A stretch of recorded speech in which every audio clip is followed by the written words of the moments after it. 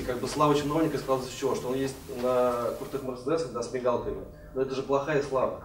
А когда-нибудь и в России это поймут, когда у нас мэр будет идти по городу Астрахани, с ним может быть так поздороваться. Я хочу, чтобы к этому пришло. Чтобы э, глава моего района, чтобы я шел с ней, я с ним вот так вот чиждал, привет. Это было считалось нормально. И, и это, это дополнительный плюс. То есть, э, чтобы у него было уважение, так, такое уважение. Не страх а уважение. И чтобы он, идя по улице, все люди ему только кричали «Браво, молодец». Вот это, мне кажется, дополнительный стимул был бы хороший на денег.